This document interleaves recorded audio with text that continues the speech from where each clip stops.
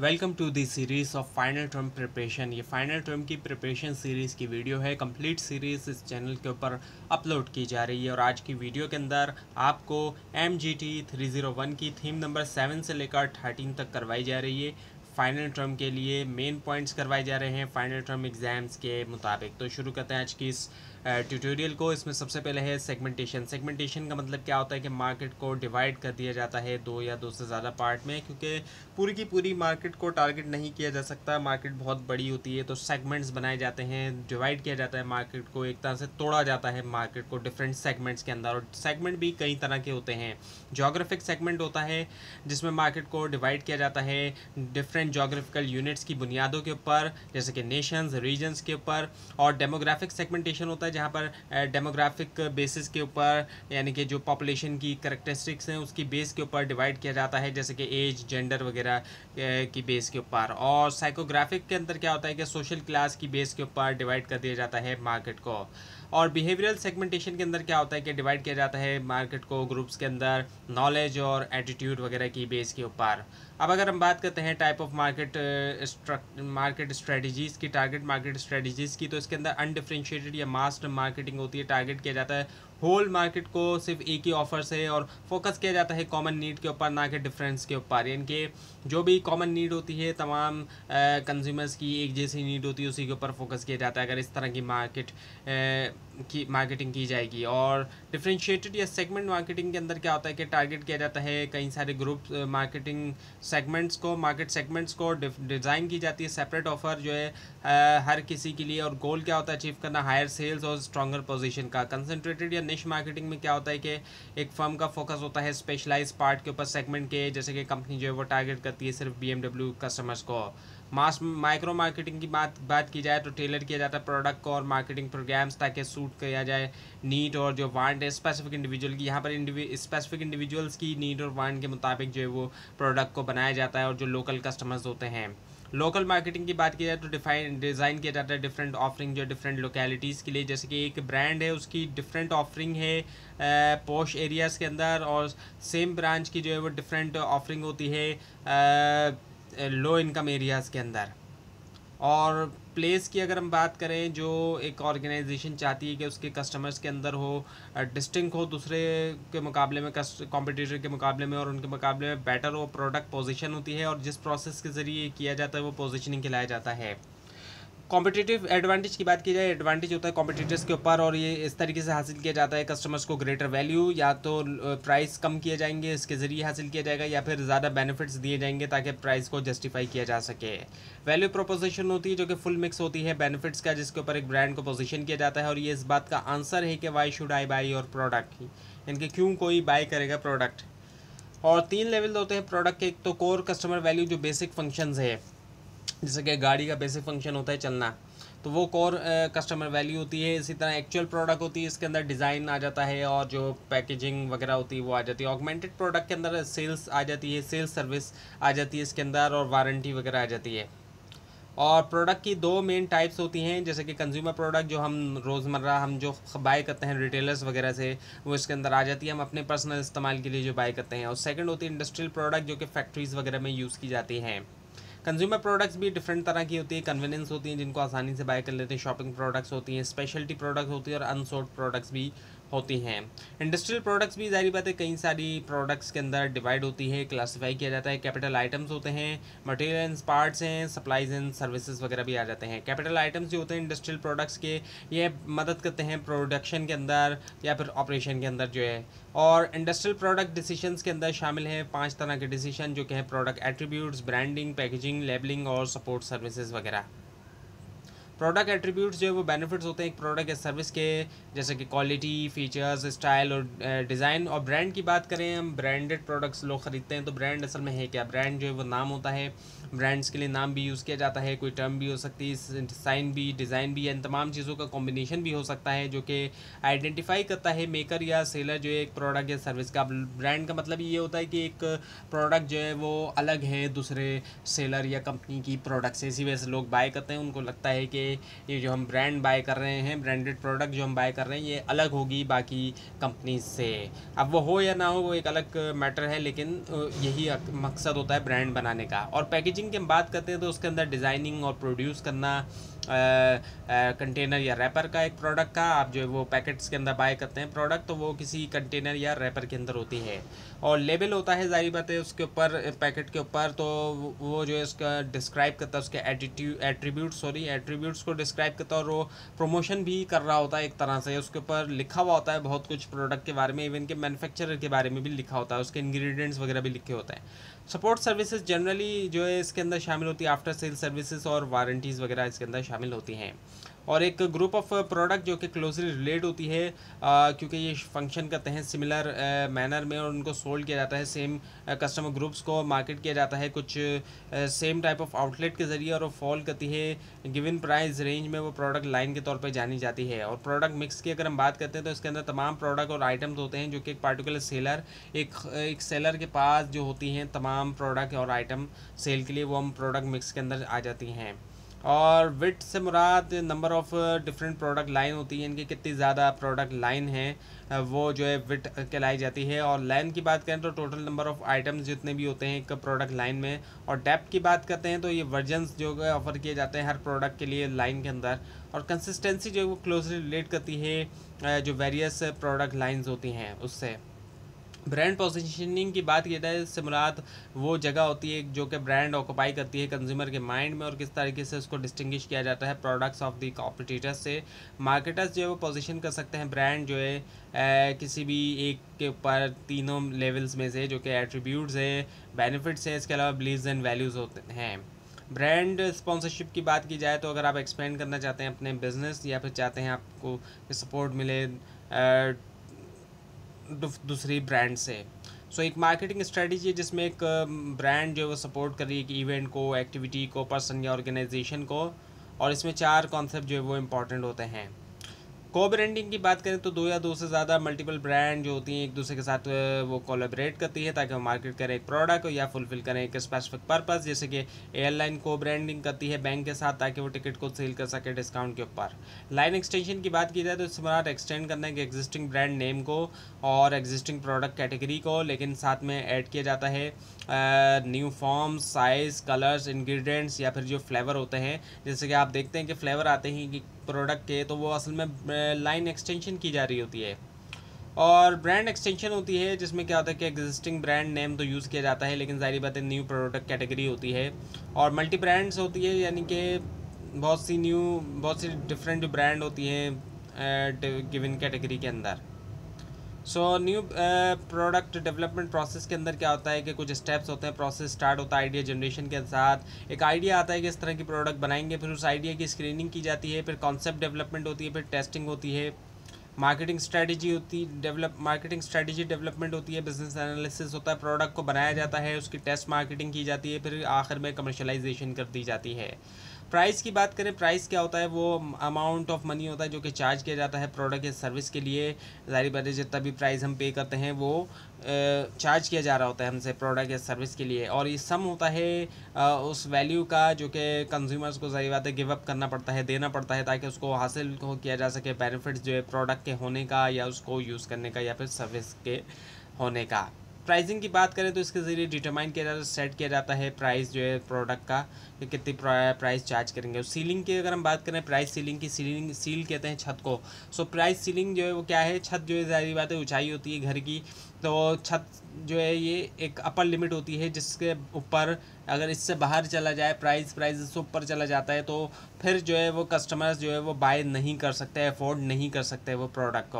और price floor जो है वो मिनिमम प्राइस होता है फ्लोर ज़ाहिर बात है नीचे होता है तो फ्लोर मिनिमम प्राइस होता है जो कि जिसको चार्ज करते हुए ज़ाहिर बात है प्रॉफिटेबल रह सकता है कोई भी सेलर उसको हम प्राइस फ्लोर कहते हैं। और फैक्टर्स जो कि अफेक्ट करते हैं प्राइसिंग इसमें ओवरऑल मार्केटिंग स्ट्रेटजी आ जाती है कि मार्केट सेगमेंट और पोजीशनिंग क्या है, इससे फ़र्क पड़ता है प्राइस के ऊपर टाइप ऑफ़ डिमांड क्या है, यानी कि इलास्टिसिटी ऑफ़ डिमांड क्या है इलास्टिक है या इन इलास्टिक है, और टाइप ऑफ़ मार्केट क्या है मोनोपली है ऐसी मार्केट जहाँ पे एक ही सेलर है डोपली है, दो सेलर हैं ओलिकोपली है, बहुत कम सेलर हैं मोनोपलिस्टिक कॉम्पिटिशन है, बहुत सारे सेलर हैं, और परफेक्ट कॉम्पिटिशन है, बहुत ज़्यादा सेलर मौजूद हैं।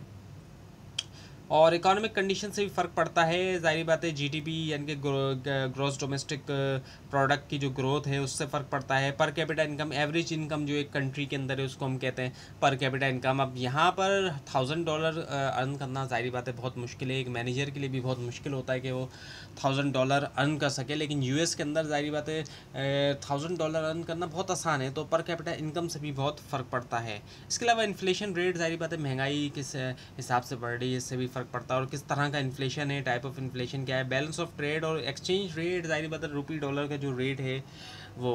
और गवर्नमेंट से भी फ़र्क पड़ता है पॉलिटिकल सिस्टम कौन सा फॉलो किया जा रहा है कंट्री के अंदर। और सेंट्रल प्लान इकोनॉमी यानी कि गवर्नमेंट के अंडर में है इदारे या फिर फ्री मार्केट इकोनॉमी है कि प्राइवेट इदारे हैं तो अब ज़ाहिर बात है जब फ्री मार्केट इकोनॉमी होती है तो प्राइवेट इदारों को खुली जो एक तरह से छूट होती है। नस्बत के सेंट्रल प्लान इकोनॉमी में, वहाँ पे ज़ाहिर बात है गवर्नमेंट का कंट्रोल होता है और इसके अलावा पॉलिटिकल स्टेबिलिटी से भी फ़र्क पड़ता है। अब इदारे तो गवर्नमेंट के हैं, लेकिन जब पॉलिटिकल स्टेबिलिटी ही नहीं है तो फिर गवर्नमेंट का कंट्रोल तब भी जारी बात नहीं होता प्राइस के ऊपर। और फिर सोशल कंसर्न भी है सोसाइटी वगैरह को भी फिर देखा जाता है। सो प्राइसिंग मेथड्स की अगर हम बात करते हैं तो प्राइस मुख्तलिफ़ तरीक़ों से चार्ज किया जाता है। वैल्यू बेस्ड के हिसाब से जो वैल्यू होती है उसके मुताबिक कॉस्ट बेस्ड प्राइसिंग होती है, जो कॉस्ट आई बनने में प्रोडक्ट उसको सामने रखते हुए प्राइस सेट किए जाते हैं। कंपटीशन बेस्ड होता है कॉम्पिटिटर को सामने रखते हुए प्राइस जो है वो चार्ज किया जाता है और कुछ स्पेशल प्राइसिंग कॉन्सेप्ट को भी यूज़ किया जाता है। सो गुड वैल्यू प्राइसिंग होती है जिसके अंदर जिसके अंदर जो है प्राइस जो कि परसीव करते हैं customer as a value at a par जो वैल्यू डिलीवर की जाती है प्रोडक्ट के ज़रिए। एवरीडे लो प्राइसिंग होती है, जिसके अंदर ऑर्गेनाइजेशन या स्टोर ये क्लेम करते हैं कि उनके प्राइस लोएस्ट है मार्केट के अंदर। और हाई लो प्राइसिंग होती है कॉम्बिनेशन है हाई और लो प्राइसेस का। कुछ प्रोडक्ट हाई होती हैं प्राइस जबकि कुछ जो है वो डिस्काउंट के ऊपर सेल की जाती हैं। और प्राइसिंग ज़ाहिर बात है स्ट्रेटजी होती है न्यू प्रोडक्ट प्राइसिंग में मार्केट स्कीमिंग होती है, जहाँ पे बहुत ज़्यादा हाई प्राइस चार्ज की जाती है एक्सपेक्टेशन के मुकाबले में। पेनिट्रेशन होती है, जहाँ पर लो प्राइस चार्ज की जाती है एक्सपेक्टेशन के मुकाबले में। प्रोडक्ट मिक्स प्राइसिंग स्ट्रेटजीज होती हैं प्रोडक्ट लाइन प्राइसिंग होती है जहाँ पर लिया जाता है, जो कॉस्ट डिफरेंस होता है प्रोडक्ट्स के दरमियान लाइन के अंदर। इसके अलावा जो कस्टमर इवेल्यूशन है उनकी फ़ीचर्स का और जो कॉम्पिटिटर्स के जो भी प्राइस हैं ऑप्शनल प्रोडक्ट प्राइसिंग के अंदर जो है वो लिया जाता है। ऑप्शनल या फिर एक्सेसरी जो प्रोडक्ट होती है मेन प्रोडक्ट्स के साथ और कैप्टिव प्रोडक्ट प्राइसिंग में सेट की जाती हैं। प्राइसेस प्रोडक्ट के लिए जो कि लाजमी यूज़ होती है मेन प्रोडक्ट के साथ। बाई प्रोडक्ट प्राइसिंग होती है जिससे मुराद प्रोडक्ट होती है जिसकी बहुत कम या बिल्कुल भी कोई वैल्यू नहीं होती है ऐसी प्रोडक्ट के लिए। और प्रोडक्ट बंडल प्राइसिंग होती है जहाँ पर कंबाइन किया जाता है। कई सारी प्रोडक्ट को एट रिड्यूस रेट के ऊपर। अच्छा प्राइस चेंज आता है। प्राइस चेंज इस तरीके से आता है, या तो प्राइस कट हो जाएँगे, कम हो जाएँगे, या फिर प्राइस बढ़ जाएँगे। कट इस वजह से होते हैं एक्सेस कैपेसिटी का होना, या फिर मार्केट शेयर को बढ़ाना। बढ़ेंगे प्राइस इस वजह से होते हैं, क्योंकि या तो महँगाई बढ़ रही है इस वजह से डिमांड में इजाफा हो रहा है इस वजह से, या फिर supply lack of supply supply की कमी, या तो सप्लायर ने सप्लाई रोक दी है, या फिर ज़ाहिर बात है वो प्रोड्यूस नहीं कर पा रहा है। मार्केटिंग कम्युनिकेशन की बात करें प्रमोशन आ जाता है तो प्रमोशन ऐसी एक्टिविटी होती है जिसके ज़रिए इनक्रेज किया जाता है कंज्यूमर्स को कि वो रिकग्नाइज करें आपके प्रोडक्ट या सर्विस और वो बाय भी करें और ये फोर पीस में से एक है product price place and promotion जो है वो फोर पीस के अंदर आ जाते हैं। और एडवर्टाइजिंग जो है वो परजेसिव कम्युनिकेशन की फॉर्म है जो कि प्रमोट करती है सेल्स को। साइमल्टेनियसली एडवर्टाइज करते हुए जो प्रेजेंस है आपकी गुड्स या सर्विसेज़ की लार्ज नंबर ऑफ़ कंज्यूमर्स को। और पुश स्ट्रेटजी और पुल स्ट्रेटजी होती है। पुश स्ट्रेटजी में जो है वो इंड्यूस करता है मैनुफैक्चरर मिडिल मैन को कि वो पुश करे प्रोडक्ट को, यानी कि उसको वो कुछ इंसेंटिव वगैरह देता है, या तो वो प्रॉफिट देगा उसको ज़्यादा, या फिर उसको कुछ कमीशन वगैरह वो देगा, जिसके ज़रिए फिर वो पुश करेगा कस्टमर्स को रेकमेंड करेगा। ऐसा तब होता है जब ब्रांड लॉयलिटी कम होती है और चॉइस जो है प्रोडक्ट की तब होती है जब उनको ख़रीदा जा रहा होता है ऐसे सिचुएशन में। और पुल स्ट्रेटजी के अंदर इनकरेज डायरेक्टली कंज्यूमर को किया जा रहा होता है। यहाँ पर एडवर्टाइजिंग और जो है कस्टमर प्रमोशन का इस्तेमाल किया जाता है। थ्योरेटिकल डेफिनेशन पब्लिक रिलेशन की ये है कि फॉर्म किया जाए फ्रेंडली रिलेशनशिप जो है वो इंट्रैक्टिव कम्युनिकेशन के ज़रिए ऑर्गेनाइजेशन और पब्लिक के दरमियान। आईएमसी जो है वो इंटीग्रेटेड मार्केटिंग कम्युनिकेशन होती है जो कि इंटीग्रेटेड मार्केटिंग कम्युनिकेशन स्ट्रेटजी है। सो so, इसको कहा जा सकता है कि बहुत सी मार्केटिंग एक्टिविटीज़ जो कि परफॉर्म करती है कंपनी या फिर ब्रांड उनको इंटीग्रेट किया जाता है एक ही जगह। और जो एक नॉन मोस्ट नॉन और यूज़ होने वाली मार्केटिंग के अंदर जो एक मॉडल है, वो है आइडा मॉडल जो कि है attention interest desire and action है। और इसको प्रपोज़ किया एल्मो ल्यूज़ ने और इसके अंदर चार स्टेप्स हैं, जैसे कि आपको बताया गया। और जो डिफरेंट तरीके हैं बजट एलोकेट करने के एडवर्टाइजमेंट के लिए, वो पहला है कॉम्पिटिटिव पैरिटी मेथड जिसके अंदर कॉम्पिटिटर्स को देखते हुए किया जाता है बजट और अफोर्डेबल मेथड है, जिसमें अपनी अफोर्डेबिलिटी को देखा जाता है। और ऑब्जेक्टिव एंड टास्क मेथड है, अपने ऑब्जेक्टिव्स और टास्क को सामने रखते हुए किया जाता है बजट और परसेंटेज ऑफ़ सेल्स है, यानी परसेंटेज ली जाती है सेल्स के सेल्स जो होती है उसकी। मार्केटिंग मिक्स के अंदर जो थर्ड पी है वो है प्लेसमेंट यानी कि प्लेस और ये इंश्योर करता है कि इफ़ेक्टिव और टाइमली अवेलेबल करवाया जाए प्रोडक्ट जो है कस्टमर्स के लिए। और अप स्ट्रीम पार्टनर वो होते हैं जो कि raw material supplier part supplier information और एक्सपर्टीज़ जो कि प्रोवाइड एक्सपर्टीज़ प्रोवाइडर होते हैं इफ़ेक्टिव मैन्युफैक्चरिंग के लिए प्रोडक्ट की। यानी कि मैन्युफैक्चरिंग से पहले के जो लोग हैं, वो अप स्ट्रीम पार्टनर में आ जाते हैं। और डाउन स्ट्रीम के अंदर शामिल होती है मार्केटिंग और डिस्ट्रीब्यूशन चैनल जो कि कस्टमर्स की तरफ़ होते हैं। और मार्केटिंग चैनल जो है, बहुत सी फर्म जो है वो पार्टनर करते हैं एक दूसरे के साथ प्रमोशन करने के लिए कॉमन गुड जो है, यहाँ पर हर मेंबर प्ले करता है उसका रोल इंडिविजुअली तौर पर। और कन्वेंशनल डिस्ट्रीब्यूशन चैनल जो सिस्टम जो होता है, उसके अंदर शामिल है एक या ज़्यादा independent producers wholesaler retailer common motive होता है इनका प्रॉफिट हासिल करना और कंट्रोल लेना मेंबर्स के ऊपर। और वर्टिकल मार्केटिंग सिस्टम जो होता है चैनल लीडरशिप इसके अंदर होलसेलर है रिटेलर है प्रोड्यूसर है, जो कि एक्ट करते हैं यूनिफाई होल के तौर पर, एक मिल के काम ये लोग कर रहे होते हैं। मल्टी चैनल डिस्ट्रीब्यूशन सिस्टम के अंदर जो कि हाइब्रिड मार्केटिंग चैनल है, ये इंडिविजुअली फॉर्म किया जाता है। फर्म इंडिविजुअली फॉर्म करती है दो या ज़्यादा मार्केटिंग चैनल ताकि वो टारगेट करे पार्टिकुलर कस्टमर सेगमेंट्स को। और सस्टेनेबिलिटी जो है ब्रॉडर टर्म के अंदर उसको अडॉप्ट किया डिफरेंट बिजनेसेस या ऑर्गेनाइजेशनल फ़ंक्शन ने। सस्टेनेबल मार्केटिंग जो है वो एग्ज़ाम्पल उन्हीं फ़ंक्शंस की। और कुछ क्रिटिसिज्म किए गए हैं मार्केटिंग एक्टिविटी के ऊपर। और ये तीन पॉइंट्स के जो है वो आ जाते हैं इसके अंदर। इसका जो इम्पैक्ट है इंडिविजुअल्स के ऊपर सोसाइटी के ऊपर और दूसरे बिजनेसेस के ऊपर। और जो डिसेप्टिव प्राइसेस है, जो कि अक्सर खिलाई जाती है साइकोलॉजिकल प्राइसिंग एक्टिविटी ये भी नेगेटिवली इम्पैक्ट करती है इंडिविजुअल्स को। जैसे कि nine hundred and ninety nine हो गई तो अब जो प्राइस चार्ज की जा रहे हैं nine hundred and ninety nine वो थाउज़ेंड नहीं लगेगा, बल्कि वो नाइन हंड्रेड लगता है। और अक्सर आप इस तरह की प्राइसिंग देखते हैं, जब प्रोडक्ट आप बाय करने जाते हैं। कंज्यूमरिज्म जो है वो ऑर्गेनाइज मूवमेंट है सिटीजन्स की और गवर्नमेंट एजेंसीज़ की, ताकि इम्प्रूव किया जाए राइट्स और जो पावर है बायर की सेलर्स के मुकाबले में। यानी कि कंज्यूमर राइट्स के लिए काम किया जाए और इन्वायरमेंटलिज्म से मुराद एक ऑर्गेनाइज मूवमेंट है कंसर्न सिटीजन्स की बिजनेसेस की और गवर्नमेंट एजेंसीज़ की, ताकि प्रोटेक्ट किया जाए और इम्प्रूव किया जाए जो लिविंग इन्वायरमेंट है लोगों का, उसको। पॉल्यूशन प्रिवेंशन के अंदर जो है वो ना सिर्फ़ ये कि क्लीन अप किया जाए, जो भी वेस्ट है, बल्कि एलिमिनेट भी कर दिया जाए और मिनिमाइज किया जाए वेस्ट को इससे पहले कि वो क्रिएट किया क्रिएट हो, उससे पहले ही। और प्रोडक्ट स्टीवर्डशिप के अंदर शामिल है मिनिमाइज़ करना पॉल्यूशन जो है वो प्रोडक्शन से, और तमाम जो इन्वायरमेंटल इम्पैक्ट है throughout the product full product life cycle design जो है फॉर इन्वायरमेंट इसमें शामिल है। थिंकिंग अहेड यानी आगे सोचना डिज़ाइन प्रोडक्ट से, जो कि ईजियर होते हैं रिकवर करने के लिए रीयूज़ करने के लिए रिसाइकिल करने के लिए। ना डिजिटल मार्केटिंग आज के मॉडर्न दौर में जो मार्केटिंग है, जो एक आगे बढ़ती हुई एक मार्केटिंग की फ़ील्ड है, वो डिजिटल मार्केटिंग है। और सारी बातें कन्वेंशनल या ट्रेडिशनल मार्केटिंग से अलग है। यहाँ पर इंटरनेट का यूज़ किया जाता है और डिफरेंट जो है वो डिजिटल मीडिया का यूज़ किया जाता है। Digital display advertisement mobile phone social media और दूसरी डिजिटल टेक्नोलॉजीज़ जैसे कि इंटरनेट वगैरह को यूज़ करते हुए ही किया जाएगा उन दूसरी टेक्नोलॉजीज़ का। तो इंटरनेट मेन चीज़ होती है डिजिटल मार्केटिंग के अंदर। और इसके फ़ायदे क्या हैं कि कन्वेंशनल मार्केटिंग इसके मुकाबले में बहुत ज़्यादा महँगी है, जैसे कि टीवी या फिर बिलबोर्ड वगैरह के ऐड बहुत महँगे होते हैं। और इसकी लिमिटेड रीच भी होती है लोकल ऑडियंस तक ही पहुँचेंगे जहाँ पर आप एड चला रहे हैं अपना। और जैसे कि बिलबोर्ड है, और लिमिटेड इंट्रैक्शन होता है, जो कंज्यूमर का रिस्पॉन्स है, वो भी बहुत ज़्यादा लिमिटेड होता है as compare to digital marketing के। और एग्जैक्ट इफ़ेक्ट आपको नहीं पता चल पाते आपके एडवर्टाइजमेंट के आपको पास डेटा मौजूद नहीं होता, जिस तरह से एनालिटिक्स आता है। एनालिसिस आप कर सकते हैं डिजिटल मार्केटिंग में तो उसमें बहुत मुश्किल होता है। और इसकी अगर हम हिस्ट्री देखते हैं तो हम कह सकते हैं कि इंटरनेट के आने के बाद डिजिटल मार्केटिंग का आना हुआ, लेकिन इंटरनेट जो है वो टर्म पहली बार यूज़ हुई 1974 में। US computer scientist Vinton Cerf ने यूज़ किया इसको। और जब इंटरनेट का बर्थ हो गया तो इन डिजिटल मार्केटिंग को पहली बार यूज़ किया गया नाइनटीन नाइन्टीज़ में और पहला सर्च इंजन जो है आर्ची के नाम से लॉन्च किया गया और पहला क्लिकेबल रन एड जो है वो रन किया गया इंटरनेट के ऊपर 1993 में और याहू को और जो पहली ई कॉमर्स ट्रांजेक्शन हुई नेट मार्क के ऊपर 1994 के अंदर हुई वो और जो टूल्स एंड टेक्निक है डिजिटल मार्केटिंग की, वो भी जारी बात यूज़ किए जाते हैं डिफरेंट टूल्स एंड टेक्निक तो डिजिटल डिस्प्ले एडवर्टाइजमेंट है जहाँ पे यूज़ किया जाता है डिजिट डिस्प्ले एड जो कि अपेयर होते हैं वेब पेजेस के ऊपर as a means of communication के तौर पे कम्युनिकेट करने के लिए रिलेवेंट कमर्शियल मैसेजेस जो है स्पेसिफिक ऑडियंस बेस के ऊपर बेस करती है, जो उनकी प्रोफ़ाइल पे। सोशल मीडिया मार्केटिंग है, जो कि मार्केट किया जाता है प्रोडक्ट या सर्विस को सोशल मीडिया के ज़रिए। ट्वीट्स की फॉर्म में यूट्यूब वीडियोज़ के फॉर्म में ब्लॉगिंग और माइक्रो ब्लॉगिंग के फॉर्म के अंदर।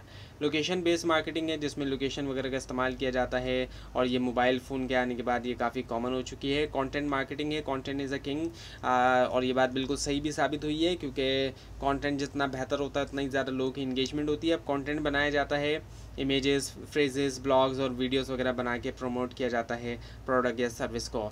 सर्च मार्केटिंग होती है जिनके सर्च इंजन वगैरह के ज़रिए की जाती है, उसमें इंडेक्स किया जाता है वेबसाइट को रैंक किया जाता है। सो रिफ़ाइन किया जाता है ट्यूनिंग की जाती है वेबसाइट की ऑन पेज और ऑफ़ पेज प्रैक्टिस के ज़रिए और सर्च इंजन ऑप्टिमाइजेशन होती है जो कि एक बहुत बड़ी फ़ील्ड है। पेपर क्लिक एडवर्टाइजिंग होती है, जहाँ पर एड्स चलाए जाते हैं सर्च पेज के ऊपर जब कोई कीवर्ड को इंटर करता है यूज़र और उसके पास उसी से रिलेवेंट एड्स चल रहे होते हैं, और ये ऐसे ऐड होते हैं जो कि पेपर क्लिक होते हैं। जब उन पर कोई क्लिक करेगा तो पे किया जाएगा अदरवाइज़ पे नहीं किया जाता। डिजिटल प्रोडक्ट आज के दौर में यूज़ की जाती हैं। कई सारी डिजिटल प्रोडक्ट्स हैं, जैसे कि मूवीज़ हैं बुक्स हैं सॉन्ग्स हैं आर्टिकल्स हैं, और डिजिटल सर्विसेज़ वगैरह भी हैं। और ये ऐसी चीज़ें होती हैं, सारी बात जिनको आप कंप्यूटर के ऊपर, या अपने स्मार्टफ़ोन या फिर टैबलेट वगैरह, इन डिजिटल डिवाइसेस के ऊपर ही आप इनको यूज़ करते हैं।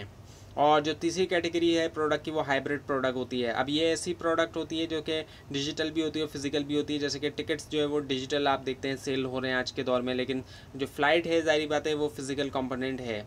और डिजिटल प्लेस भी है, ये एक वर्चुअल इन्वायरमेंट है, इसमें नॉर्मली तौर पे कोई वेबसाइट है या कोई ऐप भी शामिल हो सकती है जो कि अलाउ करती है इंडिविजुअल को कि वो अपना बिज़नेस करें इलेक्ट्रॉनिकली तौर पे। यानी कि वो एक तरह से सेल कर सकते हैं अपनी प्रोडक्ट को डिजिटली ये है इसका। और डिजिटल प्रमोशन किया जाता है सिंपल बात की जाए तो प्रमोशन जो इंटरनेट के ऊपर किया जाता है, उसको हम कहते हैं। और कंज्यूमर की हम बात करें डिजिटल वर्ल्ड के अंदर तो हम कह सकते हैं कि जो कंज्यूमर 2.1 है सॉरी 2.0 है, वो ज़्यादा एम्पावर्ड भी और ज़्यादा इन्फॉर्मेटिव है 1.0 के मुकाबले में। तो ये थी आज की वीडियो आपको इस बारे में कोई क्वेश्चन है, खासतौर पर इसमें कोई मिस्टेक दिखाई दे, ज़रूर हाईलाइट कीजिए और इस पूरी सीरीज़ को देखने के लिए। और फाइनल टर्म एग्ज़ाम्स की प्रिपरेशन के लिए इस चैनल को सब्सक्राइब कीजिए बेल आइकन के ऊपर क्लिक कीजिए। Thanks for watching this video and best of luck for your exams.